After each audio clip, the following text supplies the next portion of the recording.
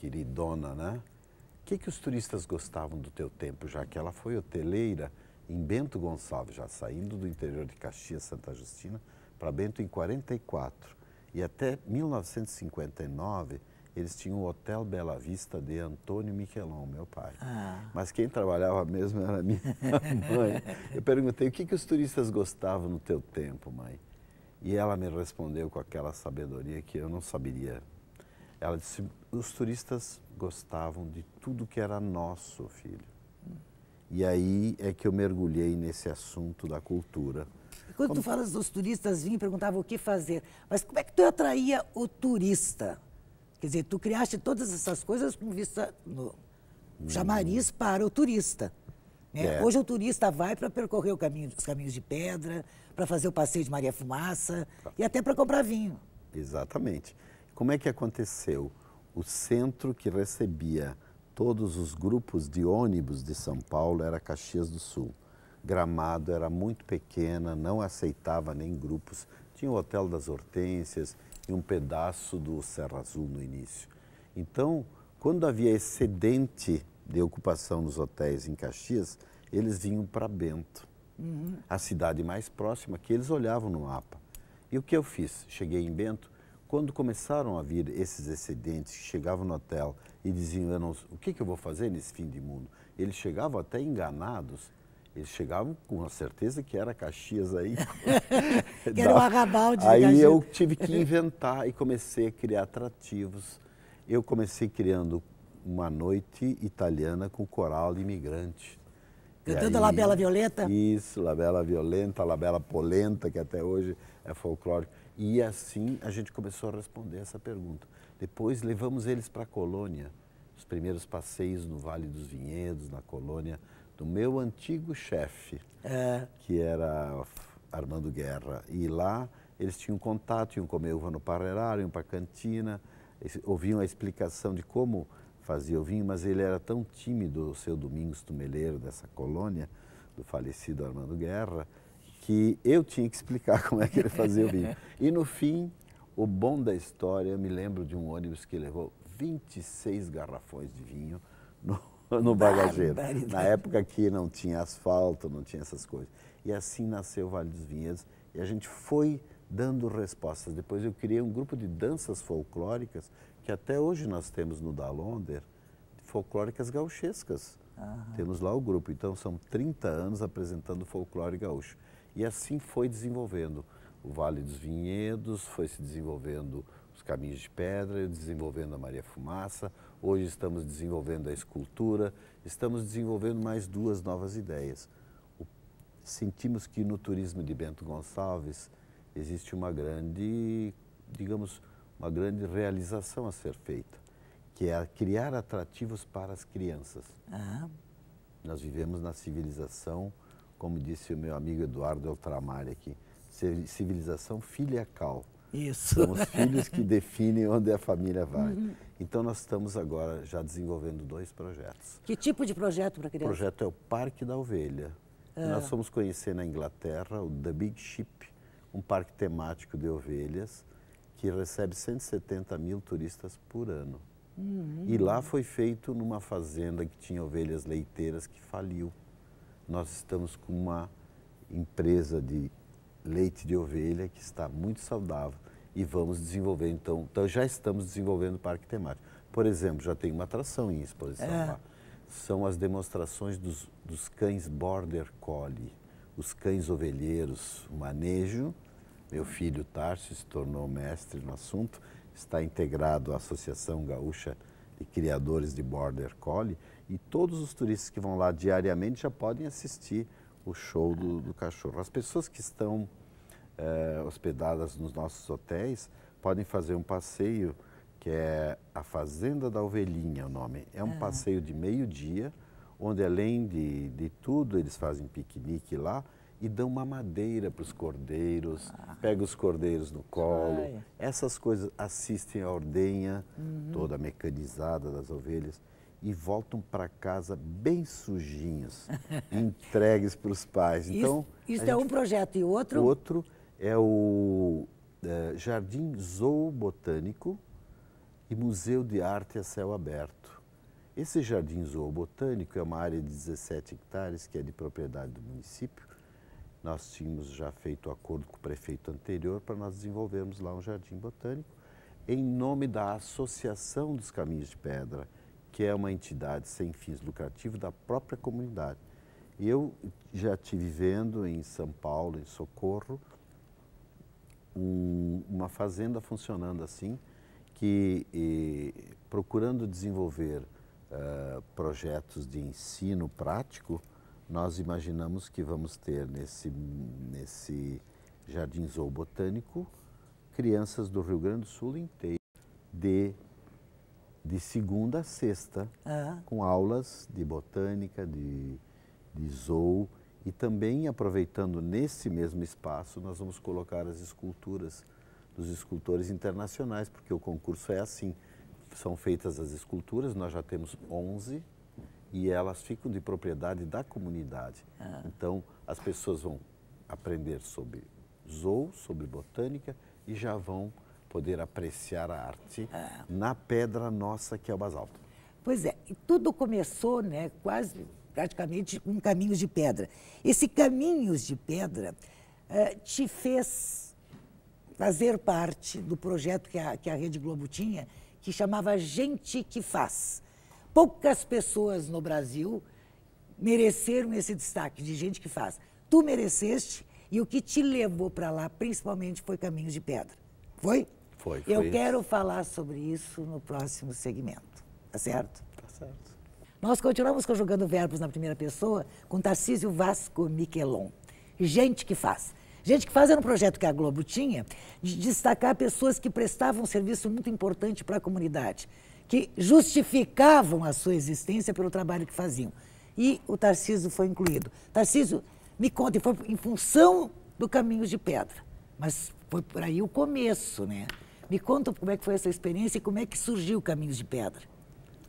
Pois o turismo tem esses aspectos eh, maravilhosos, mas o, o projeto Caminhos de Pedra, começou depois de nós mergulharmos no assunto cultural, aquela história que o turista gostava de tudo que era nosso, me surgiram questionamentos uh, lá no, na recepção do hotel. Uh, o que é que tinha Bento Gonçalves, afinal, em termos de arquitetura, já que era tão famosa a arquitetura em estilo Eixaimel de Gramado? E aí fui procurar uma resposta. Uma casa de pedra é uma casa para animais, no caso, para depósito, coisas assim. Não fazeria muito gosto de morar numa casa de pedra. O pessoal que vem adora, gosta disso, mas eu acho. Para o meu gosto, não. Eles acham que ela é uma casa idêntica à Itália, das antigas da Itália. Então eles acham uma, uma obra extraordinária, uma coisa boa. Mas, para o meu ver, eu sempre digo também para o turista que não acho uma coisa muito importante. Ah, eles ficam assim. Ah, então, se vocês acham assim, usam para depósito, né? Mas, mas para ver deles, eles achariam que seria uma casa demoraria para morar. Eles morar. E acabei conversando com uma pessoa, dono de uma livraria lá de Bento Gonçalves, que me falou que tinha um livro escrito por um arquiteto uh, aqui do Rio Grande do Sul, lá de Veranópolis, e que é o arquiteto Júlio Pozenato, que tinha escrevido, escrito um, li um livro sobre a arquitetura da imigração italiana no Brasil, no Rio Grande do Sul. Aí a gente rapidamente entrou em contato com o arquiteto Júlio proporcionamos um jantar para a Associação dos Engenheiros e Arquitetos da região dos Vinhedos. 60 arquitetos e engenheiros participaram do jantar e nós assistimos à palestra que nos deu o arquiteto Júlio, em que ele afirmou a arquitetura da imigração italiana no Brasil é a melhor arquitetura popular da história do Brasil, porque usava materiais nobres como pedra, ferro, barro e madeira, com uma extrema habilidade construtiva, onde mostrava exemplares de quatro, de até cinco andares de casas de pedra ou mistos que os primeiros imigrantes fizeram. A arquitetura popular é aquela que emana espontaneamente do povo, sem uhum. a, o arquiteto tradicional, é, né, erudito. Então, o, o, nosso brasileiro faz a sua casa de barro, palha, taquara, um andarzinho. Quando ele falou isso, eu me apaixonei pela ideia de que não vamos trabalhar então isso. Proporcionamos para ele os recursos para fazer o levantamento do patrimônio histórico no município de Bento. Quando fomos procurar a prefeitura, ela disse que não podia ajudar. Então, a gente ficou, isso aconteceu muito na minha vida. Os notórios? Ou a gente põe dinheiro do bolso e comecei a fazer essas loucuras.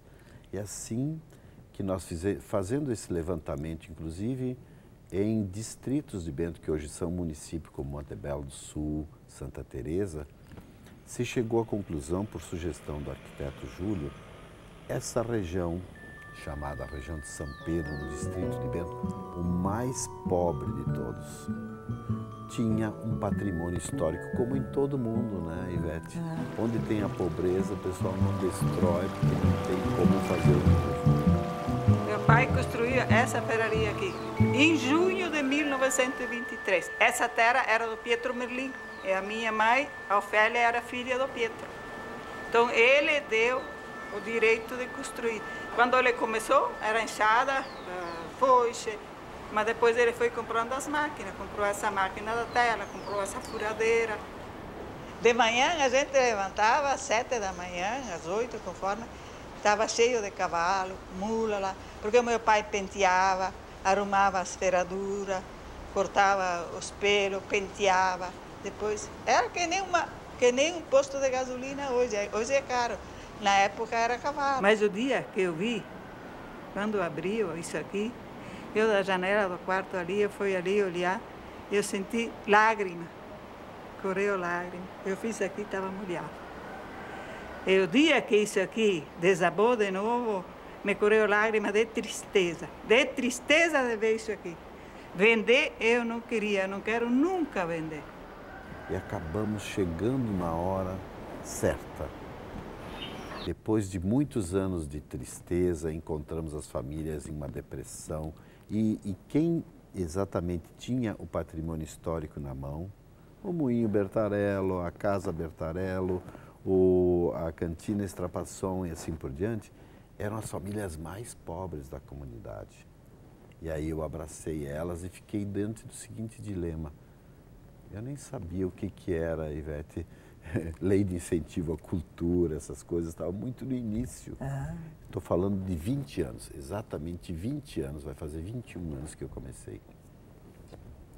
Me restou o seguinte, o arquiteto me orientando, olha, precisaria recuperar as rodas d'água da ferraria, e que fazia assim, e não sei o quê.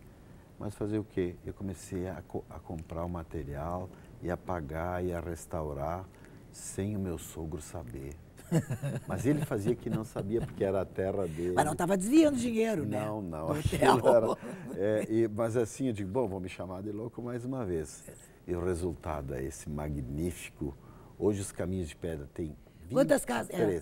23 estabelecimentos. Temos até um B&B, uma bed and breakfast feita dentro de uma casa de pedra que estava completamente abandonada. São todas autênticas ou tem alguma coisa feita recentemente? Não, é, as que estão sendo feitas é destacado, claro, procura, está se procurando, através do arquiteto Ultramari, fazer uma arquitetura de integração. Mas o princípio básico não é, não é esconder nada. O que é original está original e o que não é original está bem claro que não é. E todas essas casas oferecem algum tipo de, de, de, de atração? É, é, por exemplo, nós temos a salumeria, é uma casa antiga, histórica, que está então, oferecendo os salames da região. Temos restaurantes, temos lancherias, temos a Casa da Tecelagem, um projeto interessante. Fui buscar um tecelão que é gaúcho, mora em Florianópolis. Compramos os teares. Hoje tem a Casa da Tecelagem, lindíssima,